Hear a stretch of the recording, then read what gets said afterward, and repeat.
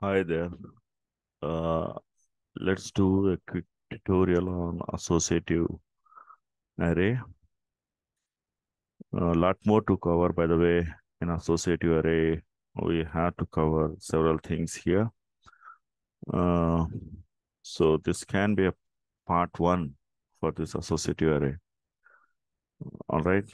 So the associative array, if you see the declaration here, you have the data type the way we did uh, in case of uh, earlier, uh, you know, static array, dynamic array. So this is the data type. And then we have some variable for that array, some variable. And inside this square brackets, right side, in static array, we use it to have the size of that array directly here. Whereas in dynamic array, later on we initialized with a new function. But coming to this associative array, we are going to have something here at the index. So again, data type here. That's the difference. I repeat, the way we do for static arrays, like before this array name, we keep uh, data type and then the array variable itself. And then within the square brackets, we use it to have the size directly there, where in static and dynamic uh, as well. Like in dynamic directly, we did not keep the value here, the size. Later on, whenever required, uh, like we resized, uh, I mean, uh, we declared with the new function size of this array in case of dynamic arrays. But in case of associative array, instead of directly, you know, initializing with the size here, like in static, or later on uh, initializing with size like in dynamic, we are going to have here some kind of data type. So this index can be of int type, it can be of string type, like that. So we'll take one example and we'll see that. Like the, in this uh, case, if you see this example itself, here you have this is a bit, bit. And then you can consider this as, uh, ASSOC underscore array as a variable name for the associative array. And this one, inside this parenthesis, instead of having the size of an array, we are going to have the type here. So this through example, you will understand. As I said, this is the part one of this uh, associative array.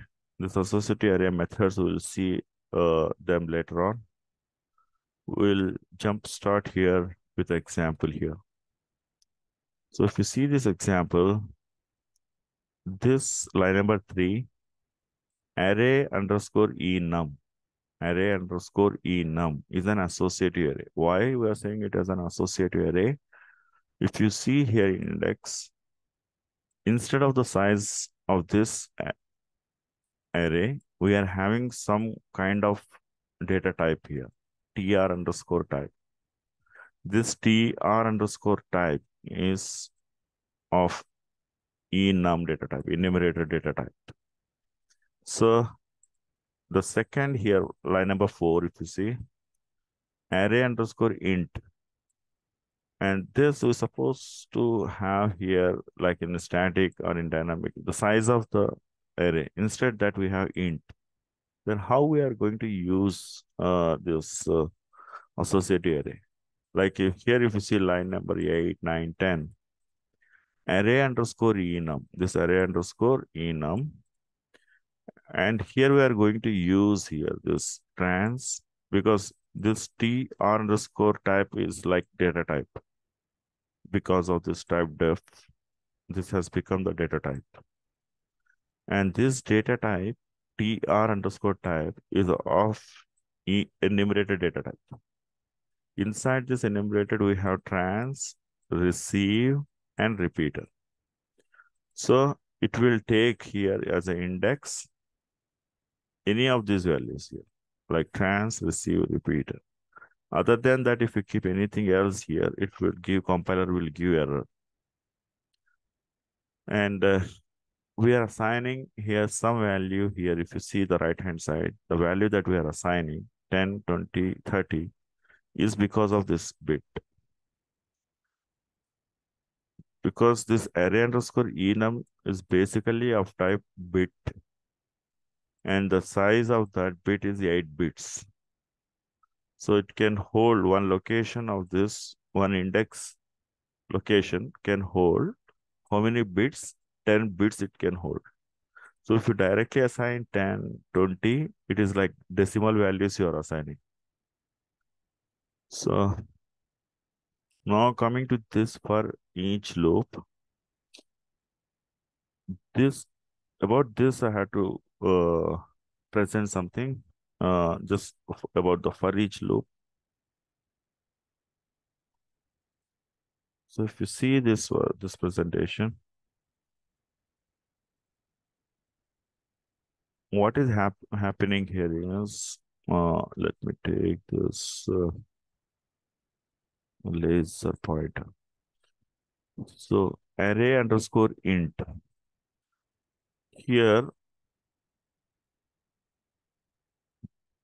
see this this line initializes for each loop that is this this one particularly this for each within parenthesis this array underscore int don't concentrate this one uh, this one means the semicolon or colon uh, colon is seen here so just concentrate this one so this is initializing uh, this line initializes the for each loop here this line it specifies that the loop variable is i.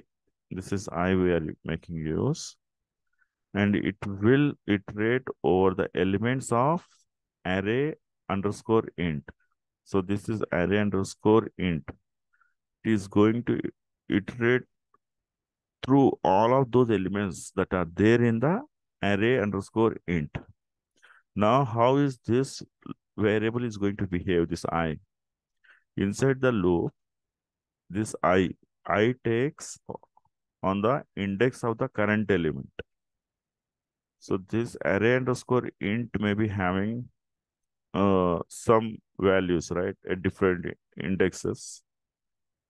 So it iterates through, I mean, it i takes on the index of the current element means it iterates through those index values here. Through example you will understand. It is not that uh, i is like starting from all the time from the zero. Like if you see this example.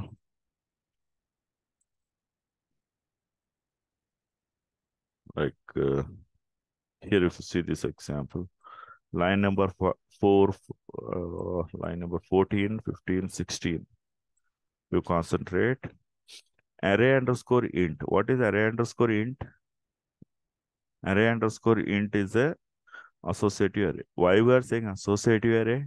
Because the index here, you see, it is not the like, you know, some value here. It is rather, it is some data type. So we are calling it as a associative array. To which type this array int belongs to? It belongs to bit data type. Now, what we are doing here is this since these indexes can take integer values.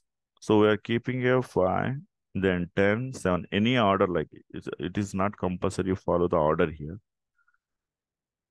So you have assigned this array underscore int 5 at, at index 5 you are assigned 2 at index 10 you are assigning 4 at index 7 you are assigning 6 now line number 18, if you observe, how is that going to, uh, this for each going to work?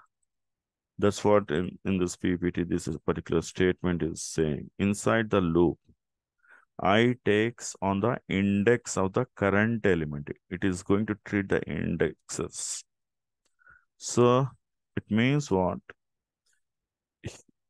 in this in this array, array underscore int, we have index 5, index 7, index 10. So it comes to index 5 first. In, in uh, ascending order, it comes here while it is printing. Index 5, then it will print here. Array underscore int, this particularly in decimal format, this i will be for initially because how many you know, the index variable is what is this i is iterating through. I think I'm making sense here, this point. i takes on the index of the current element, index. This is this, this i relates to some, i got some relation with index. All right.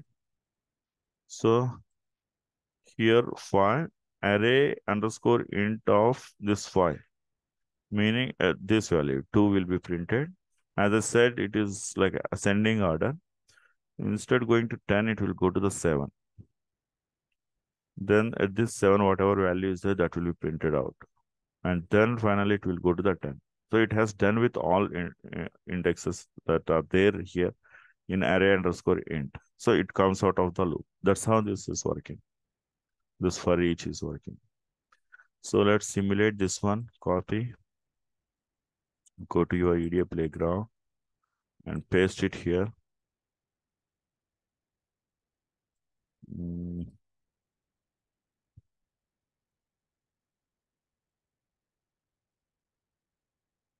Okay, and then and then see the same code it is uh, what uh, just now we have explained here. Uh, we have to run this one.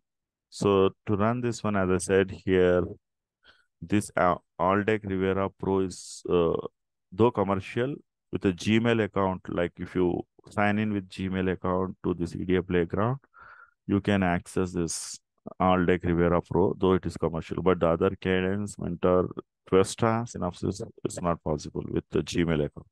You have to have some your maybe uh, your university email ID or working like a private domain email ID, by the way.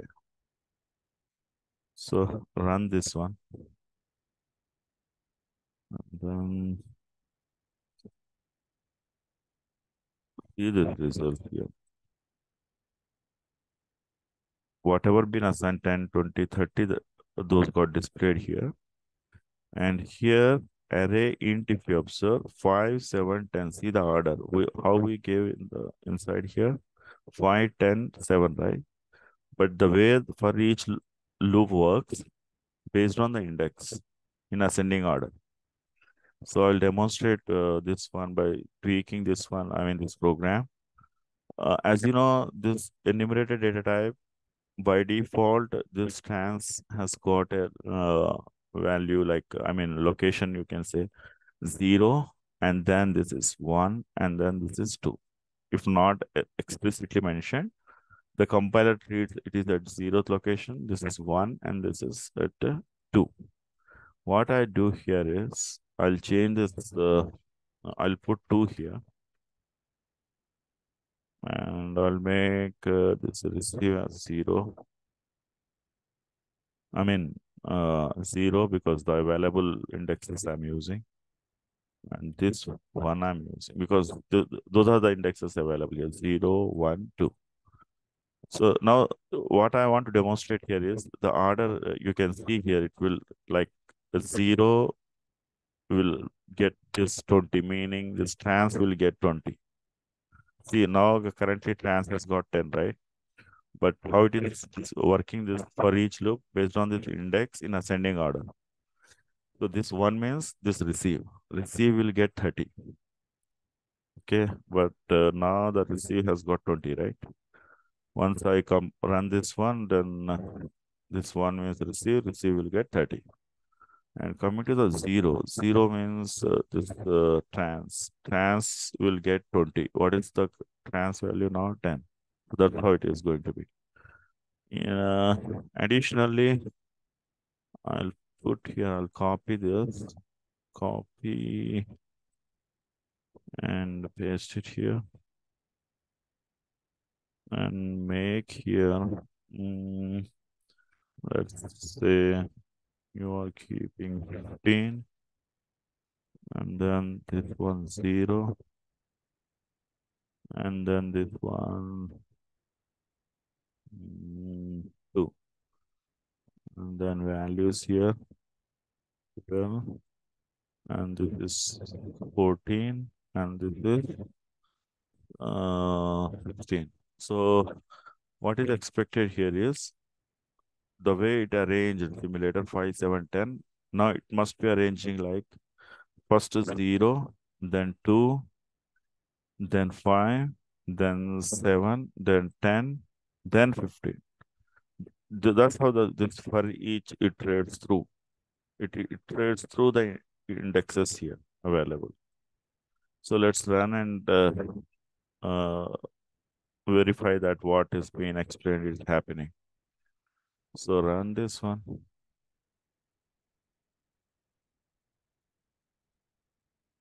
mm, here there is some issue. Invalid type index. Here invalid uh, type index. Test bench line number 8 line number 8 uh, this is array um, array for enum. Um, this is array for enum. This is zero by the way. This is one this is two. Uh, cursor is going to treat. Mm, this is zero this is one this is two Okay, this is complaining, uh, this Aldec Rivera complaining like that. I'll change this to mentor first. Let me see whether this compiler also does the same, I mean, complain. It should not be the case actually, because that's how this, you know, indexes are. So you can see uh, that's the problem with that uh, um, Aldec Rivera Pro. But Mentor Questa, you can see uh, as explained, uh, this zero is actually pointing to this index trans. So you can see the trans being uh, printed here, the value corresponding value 20. And this one means this is this in uh, for this this index is this one. So you see. It's getting 30. And then uh, finally 0, 1, 2, this is the repeater. Repeater, this is uh, coming lastly here. Though the order here you can see is different and the order here is different. Simulator is arranging them in a ascending order. The same thing uh, here also applicable. You can see as i explained here uh, there's zero first then second there's index two then index five in that order so the summary of this tutorial is uh, associative array, unlike uh, the static array and dynamic array, like putting the size of the array here, it, it facilitates us to have control in the index. What type of index that we want to use? Like you can have bit here, you can have int, you can have string. So, and then that's the one thing that learning here. The second learning here is for each loop, how it is working. It iterates through the indexes uh, in the element here that is taken here. This could be anything. This is not necessarily this array uh, all the time. But the indexes, uh, in this case, particularly here, if you see the indexes are there here. So it iterates through those array indexes this uh, for each loop. The same thing is with the second for each loop as well. Uh, so hopefully this is clear. Uh, but this is uh, just part one. A lot more to discuss. As I said here, if you see the contents, we have several things to discuss. Uh, associative array methods we have to discuss. For each of these method, we have uh, some examples here. So them also we have to discuss. We'll make another video about that. Meanwhile, if you have any doubts, please post them in comment section. Yeah, thank you.